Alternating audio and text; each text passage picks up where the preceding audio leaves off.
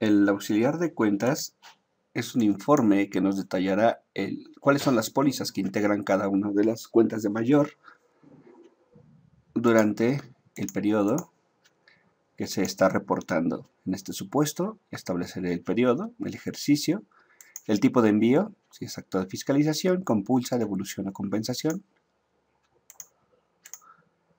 Necesitamos indicar el número de orden y el número de trámite por el cual se envía esta información.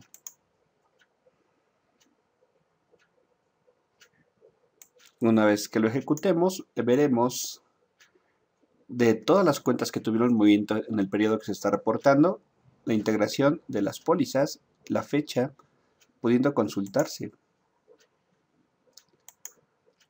desde este auxiliar para corroborar la información que se está entregando.